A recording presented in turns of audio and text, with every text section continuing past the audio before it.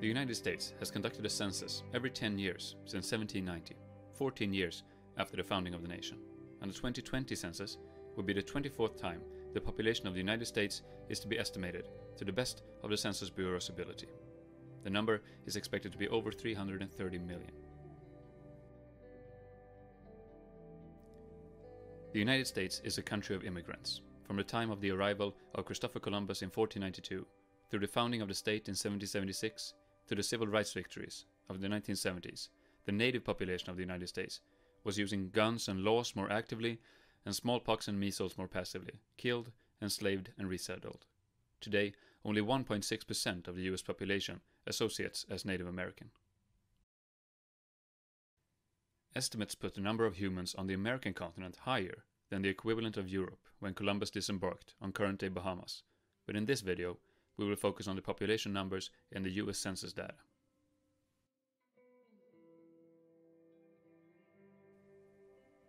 At the time of the first census, in 1790, the population was found to be just under 4 million, the equivalent of current day Oklahoma.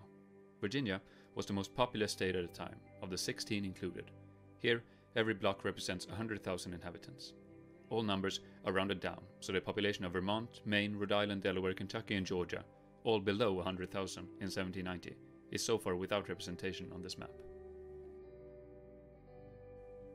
Ever since the late 18th century, the census data has been criticized with different levels of intensity for undercounting the population, something both Thomas Jefferson and George Washington expressed themselves.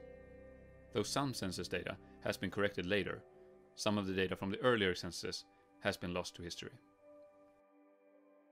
Though women and slaves are counted in the census data, they aren't to be named in the surveys until the mid 19th century. The native population isn't counted at all until the 1860 census, and even then, only those living outside reservations were included. In the 1810 census, New York passes Virginia as the largest state in the Union, a position it would hold on to for 150 years.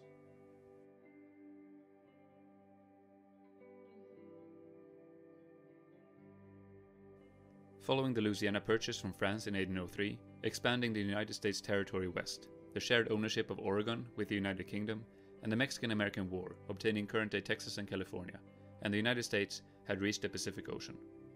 In the later half of the 19th century, Alaska was bought from Russia, and the Queen of Hawaii overthrown, making them states 49 and 50 respectively, while Guam, Puerto Rico, American Samoa, the US Virgin Islands, and the Northern Mariana Islands remained American territories.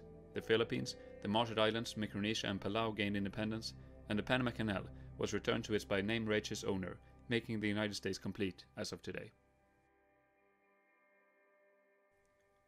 Meanwhile, the population grew as a result of so called natural growth, with a fertility rate over 7 in the early 1800s, but also as a result of voluntary immigration, mainly from Europe, as well as involuntary migration, mainly from Africa. Over 350,000 people were forced to migrate to current day United States during the 1700s, especially to the southern states, who would eventually go to war for the right to keep and sell and enslave workers on their ever so successful cotton plantations, leading to their loss in the American Civil War in the 1860s.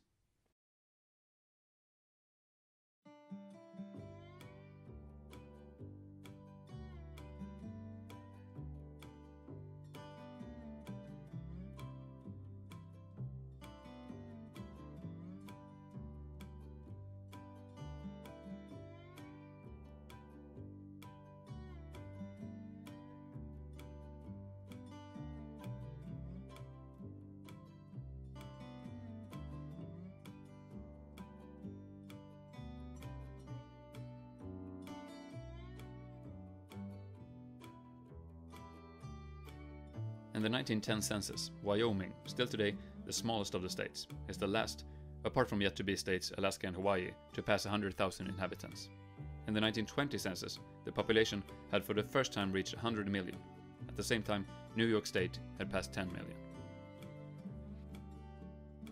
The fertility rate had decreased fast since the mid 1800s, from around 5 babies born per woman to just over 2 in the 1930s and during World War II. Alongside many families being divided during the war, forcing the fertility rate down. Internal migration also played a key role in the northeast population decrease, when a booming war industry created jobs and opportunities elsewhere. While Florida, Michigan, Texas, Virginia, and not the least California, grew fast during this time, New York and Pennsylvania saw a clear population loss.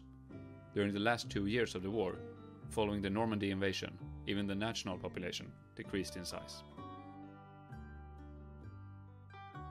After the war, the fertility rate went up to a peak of 3.7 in the early 1960s, only to fall back down even below 2 just 15 years later.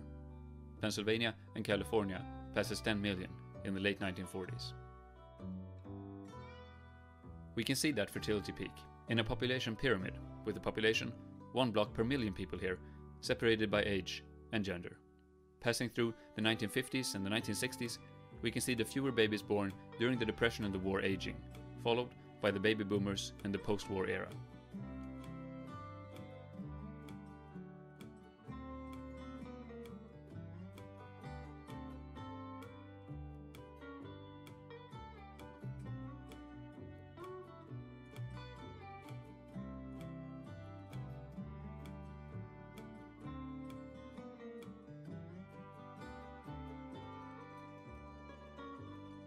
The post-war cities faced a large housing crisis, and with political incentives, large, low-density suburbs were built in the course of a couple of decades.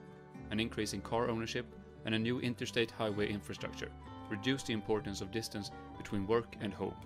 Standardized building methods and an industrialization of the building industry set off large migration away from city centers to the city outskirts, and city job, opportunities, and tax income declined.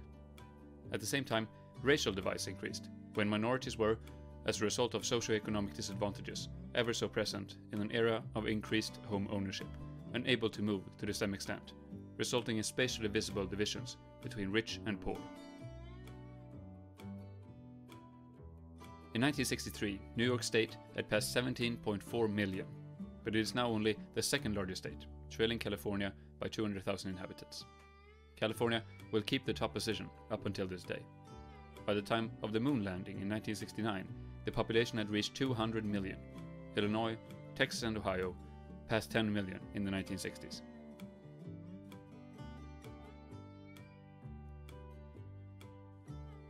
In the 1970s, the suburbs separated from the cities further, with the development of so-called edge cities, larger, more concentrated parts of suburbs, with commercial and business opportunities. Larger suburbs reduced farmland, further increasing the change to highly industrialized agriculture, creating higher yields per acre that before breakthrough technological innovations would seem impossible. The city that saw this the most was New York.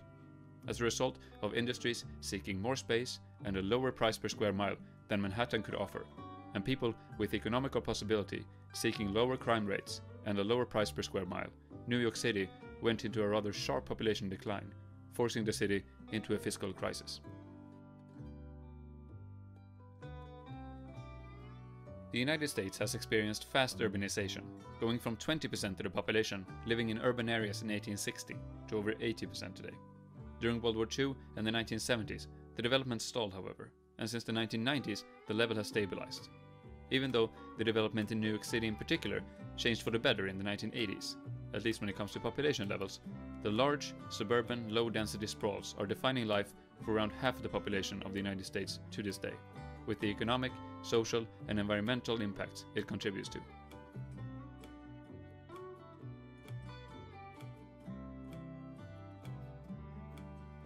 One of the changes that turned the city centers back to population growth was in no doubt a reduction in crime, a result of both an increase in police force and their legal scope of action, incarcerating an increasing number of citizens for both violent and drug related crimes. But also as a result of legalized abortions nationwide, reducing the number of children born to poor, socially vulnerable parents, an aging population with a rising income, and a reduction in lead exposure through chemical changes in paint and gasoline, reducing the use of the toxic metal and its neurologically damaging and aggravating effects on humans.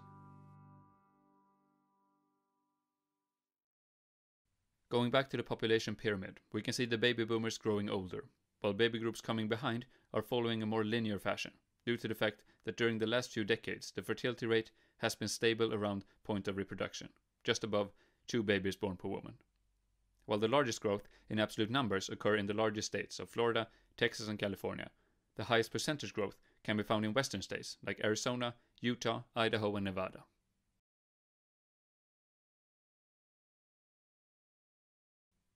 In 2007, the United States passed 300 million inhabitants. And while most other neighboring nations will see a population stagnation and even decline in the coming decades, the United States is predicted to see a continued growth for at least the next century. This is both a result of a by comparison high fertility rate and immigration, which we'll come back to in a later video.